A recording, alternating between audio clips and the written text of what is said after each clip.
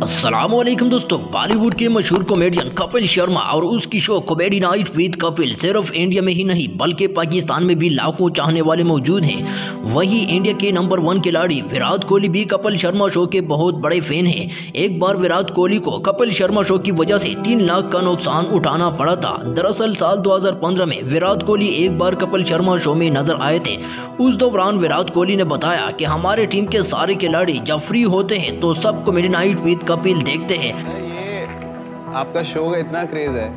पूरे इंडिया में तो है ही। क्रिकेट टीम में सारे साथ बैठ के आपका शो देखते हैं। अरे और कोई मिस नहीं करता एक भी एपिसोड मतलब हमारा एंटरटेनमेंट ही यही है कि ये शो देखना साथ बैठ। जब हम श्रीलंका के दौरे पर थे तो मैंने अपनी टीम के साथ एयरपोर्ट पर बैठा हुआ बोर हो रहा था। मैंने सोचा कि कुछ देखते हैं, और जेब से अपना फ़ोन निकाला। मुझे पता नहीं था कि एयरपोर्ट पर वाईफाई नहीं है। मैंने इंडिया का 3G नेटवर्क खोलकर शो देखना शुरू किया।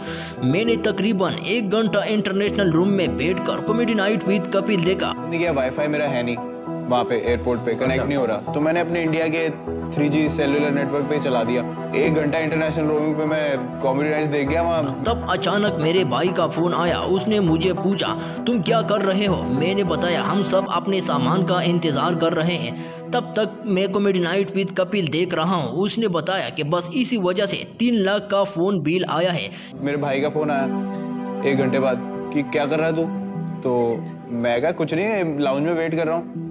कह रहे तीन लाख रुपए का फ़ोन बिल कहाँ आया? तेरा फ़ोन तो नहीं गया ये सुनकर वहाँ मौजूद कपिल शर्मा शो में सारे ऑडियंस हैरान रह गए वेल, इस बारे में आप क्या कहेंगे? कमेंट में ज़रूर बताइए। दोस्तों, वीडियो कैसा लगा? अगर अच्छा लगा हो तो वीडियो को लाइक करें। चैनल पर नए हो तो चैनल को सब्सक्राइब करें। मिलते हैं नेक्स्ट वीडियो में। Thanks for watching